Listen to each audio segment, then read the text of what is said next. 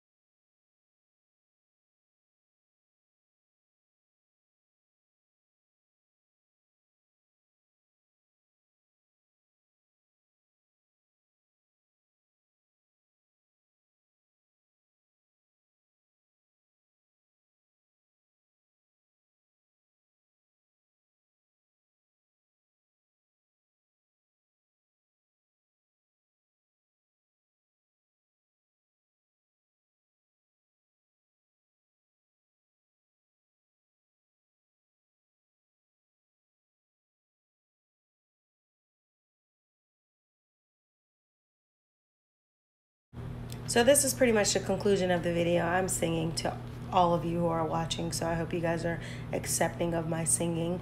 But make sure you guys like, comment, share, subscribe.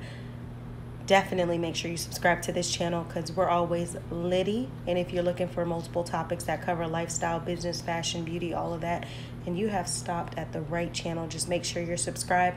Click the bell to be notified anytime I post a video because you're not going to want to miss this action. But until next time, I'll see all of you beautiful people in the next video. See you later. Spirit fingers. Bye, guys. Love you. I'll see you in the next video. It's only 11 something, but why does it feel like it's 2 something?